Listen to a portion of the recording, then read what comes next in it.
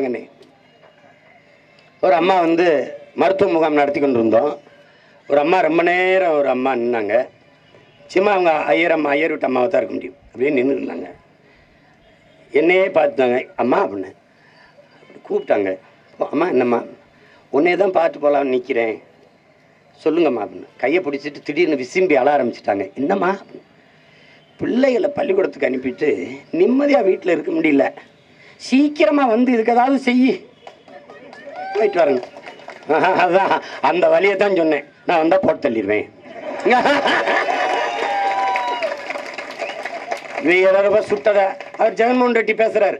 ஆந்திரா அந்த தெலுங்கானா அரசுக்கு நான் பாராட்டுகிறேன். இந்த காவலர்களை தலைவணங்கி வரவேற்கிறேன். அவர்களை வணக்கம் செலுத்துகிறேன். உடனடியா ஒரே வாரத்தில் விசாரிக்கணும். உடனடியா தூக்கு தண்டனை நிறைவேற்றணுங்கிறார் அதான் நான் சொல்றேன்.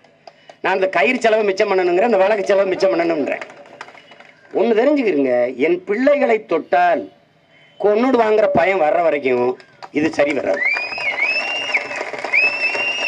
பாலியல் இச்சையோடு என் பெண் பிள்ளைகளை நீ நினைப்பதும் தொடுவதும் நடந்தால் நீ உயிரோட இருக்க மாட்டாய் என்கிற நிலையை உருவாக்கு.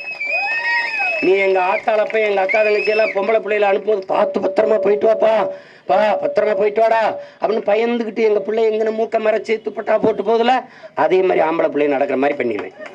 என்ன பண்ணுவேன் வீட்டில் அம்மா அப்பா பிள்ளைகளை போட்டு கவனமாக கவனமா போயிட்டு வராசா நம்மளை பிள்ளை நினைச்சுக்கிட்டு பத்திராதாப்பா அப்பா இப்போ நல்லா இருப்பாதாப்பா அந்த பிள்ளை பிடிக்கலன்ட்டா வந்துருப்பா. அசிட்டை கிசிட்டு அடிச்சிட்டு செத்துறாதப்பா. கொண்டுருவாப்பா அவன் கொண்டே வருவாப்பா அப்பா நான் ஒன்றும் சொன்னனே. பொள்ளாச்சியில் ஆறு வயசு பிள்ளையை வன்புணர்வு செஞ்சு கொண்டானா வீட்டில் போய் சொல்லுவேன். அழாதீங்க ஆறுதலாக இருங்க கவலைப்படாதீங்க. அடக்கம் செய்யாத கொஞ்ச நேரம். எங்கடா அவன்? போடுறான் போட்டியா? அவனை போத? இப்போ புதைச்சிருங்க. வேணுமா?